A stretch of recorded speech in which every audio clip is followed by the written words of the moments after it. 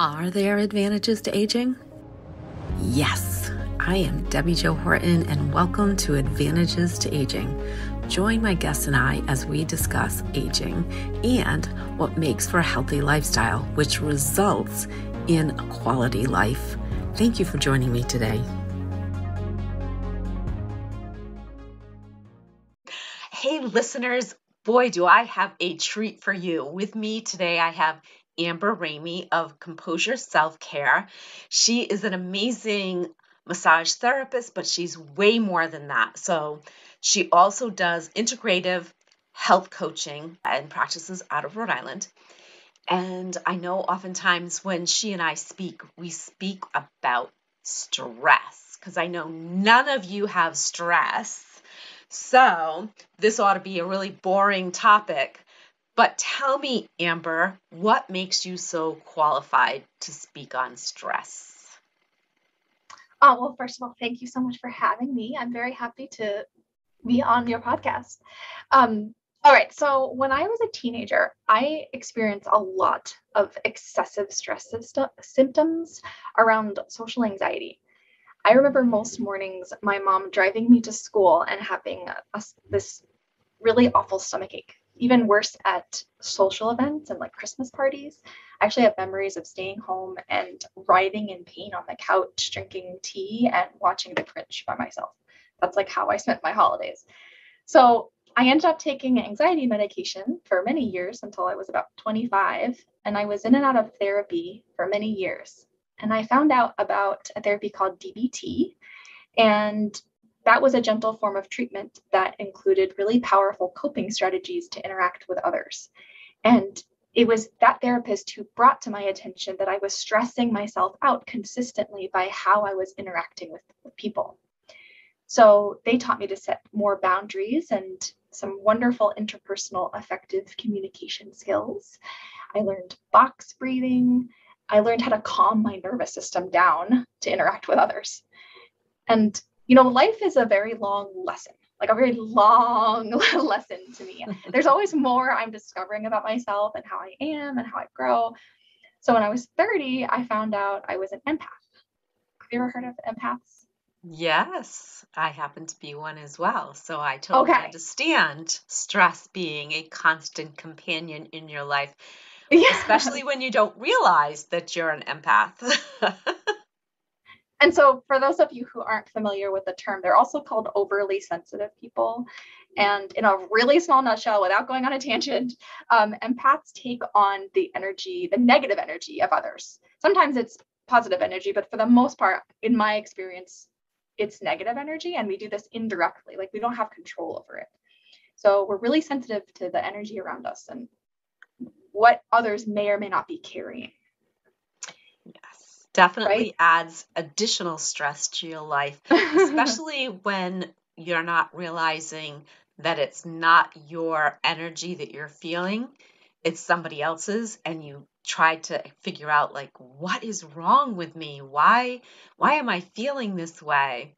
So with all that stress that you had for what 30 years, what kind of toll did that take on your body and and those of us who deal with stress in maybe not as positive ways what is it that that's happening to our bodies when we're in that kind of a stress mode? Oh this is such a good question because understanding what happens inside us physiologically i think is really empowering and i share this with my clients all the time so if like if we're the metaphorical Humpty Dumpty falling off the wall, wouldn't we want to know why he fell so that the next time we could prevent him from falling in, into a million pieces? so this goes back to our ancestors' fight or flight response. A lion is chasing a caveman, right? That's our scenario. That's our that's our ancestral DNA coded in. This is how our body reacts. So the hypothalamus of our brain sets off an alarm system to the rest of our body and through a combination of nerve and hormone signals, this system tells our adrenal glands to release a surge of hormones, including adrenaline and cortisol. I'm sure you guys have been accustomed to the term adrenaline, especially cortisol. That's a huge one. They're like almost buzzwords now. So adrenaline increases your heart rate, it elevates your blood pressure, and it boosts your energy supplies. Whereas cortisol is that's the primary stress hormone and it increases the I think the key note is that it increases sugar in your bloodstream. So your body is ready to use this energy to run away from your lion. Right? right? They also both curb functions that would be harmful in a fight or flight scenario. So it suppresses our immune systems, suppresses our digestive system, our reproductive, and even our growth processes. So, okay, the lion's gone. You've used up all of your blood sugar that in that moment, your hormone levels are returning to normal. You're like hanging out back in your cave with your mom and your baby. And as these hormone levels drop, so do your heart rate, your blood pressure, every all of your other systems are allowed to, to resume their regular activities. But when our stressors are always present, when our lions, like our everyday normal now modern day lions, things like running late to work, maybe traffic, things that are out of our control, right? So maybe you've gotten some really bad news. There's been a, a lot of really crappy news in the media lately that we that it's out of our control. Things like that. If those are constantly overexposed to us, our stress hormones are disrupting our body's processes, and this is putting at us at risk and we're developing things like anxiety and depression and digestive issues, muscle tension and headaches, sleep problems, weight gain, memory and concentration impairment, long term things like heart disease. Mm, yeah, definitely.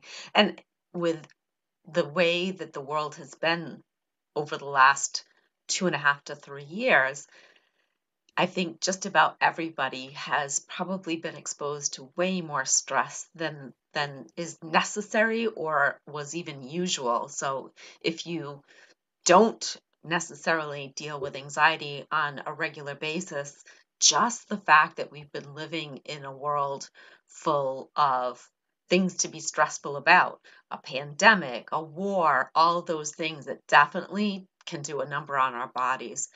But uh, Amber, I know that you have lots of ways that we can help us cope with stress. So why don't you share those tips with our listeners?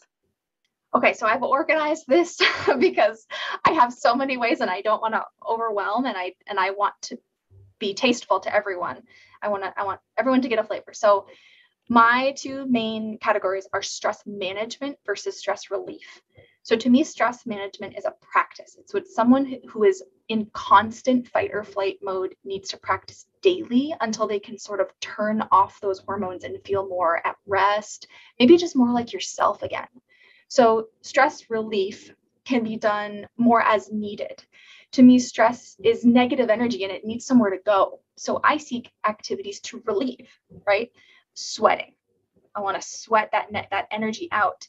Singing, you could literally get the words out of your mouth, maybe in, in an emotional manner. Writing a letter or a poem, like the words that the energy is coming out of your hand, creating art or dancing, things like you know self-expression to get that energy out, whether it's positive or negative or antsy or whatever that energy is. Zumba, oh my God, such a good stress relief.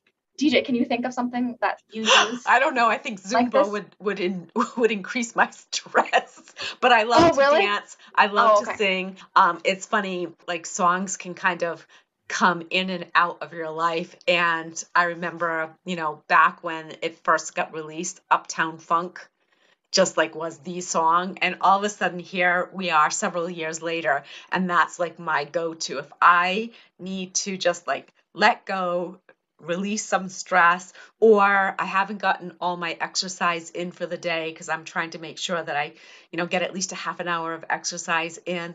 I'll throw that on because it's a 4 minute song and I can, you know, like dance to that.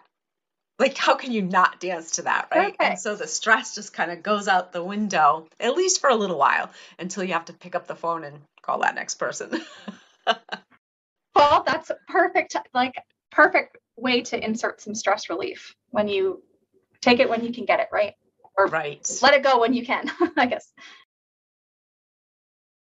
Looking to take the important steps towards a slimmer, healthier you? We're here to help. NeoraFit combines a line of innovative dietary supplements that support your body around the clock with sustainable lifestyle habits that help you achieve and maintain your fitness and weight loss goals. We've spent years researching the right ingredients and technologies to help support a sustainable, fit lifestyle.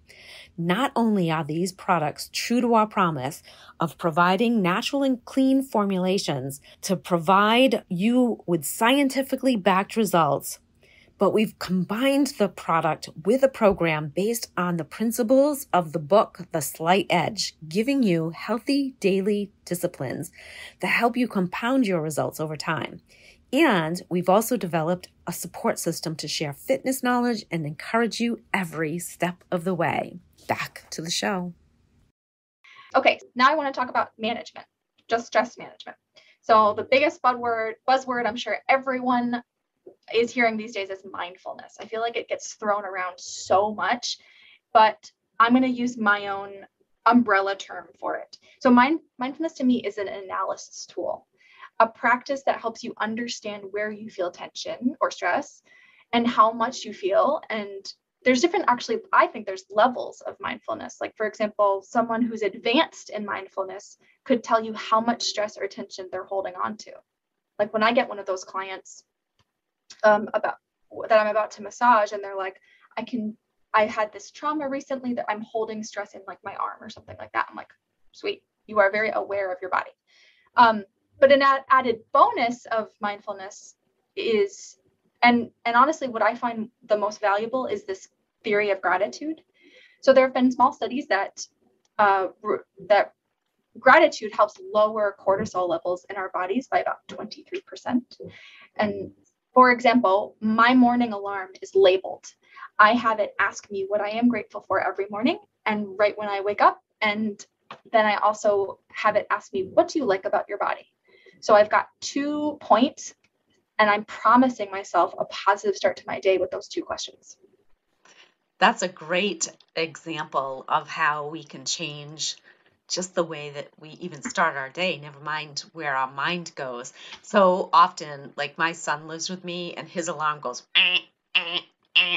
it drives me crazy because I can hear it and I'm usually awake already, but I have something that's much more upbeat, like Happy by um, Pharrell Williams.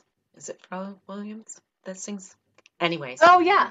it's that upbeat like that's the way i want to get out of bed in the morning. I don't want to be aggravated the moment i open my eyes. Like why would anybody do that to themselves right? Absolutely. You have we have the technology so let's use it to our advantage. That's perfect. Um okay so healthy diet i feel like this goes without saying. I just wanted to touch on that when we feel like garbage we often want to eat like garbage that's i mean that's how i feel when i when i'm stressed. Like if i'm stressed out i kind of want to eat garbage.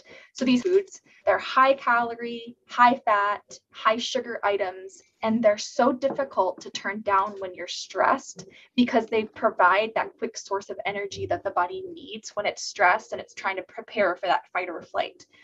But they're just short-term relief. They're not they're not helping you get to the source. If you were to focus more on your root cause, focus on relieving stress and foods that help you find balance in your body's hormones and kick on that rest and digest system, that's going to be what's the most helpful to you. And we all know we need to drink more water and eat more vegetables. So that's all I'm going to say on that because it's not my level of expertise anyway. But it's still important, right? Okay, exercise perfect practice for the release, for the stress relief, right? You're sweating, you're releasing energy from your body, or you could be doing something like yoga that's facilitating your energetic channels to unblock them from negative energy. Sleep. This is another tangent that I won't go on, but I have a lot to say on sleep. so I'm going to simplify it. There's so much happening in our bodies when we're sleeping these there's chemical and physical processes that are restoring and nourishing and resetting our bodies for the next day. So if you're cutting yourself short from your seven to nine hours this could have a strong impact on your ability to manage and cope with stress. So that's all i'll say about sleep. Journaling is another it could be either an analysis tool or a release strategy. You know, daily planning can show you how busy you are, or it can be a way to allow you to schedule in downtime. And it can also be a form of expression. You know, you might find it cathartic to release tension from your mind by writing something down.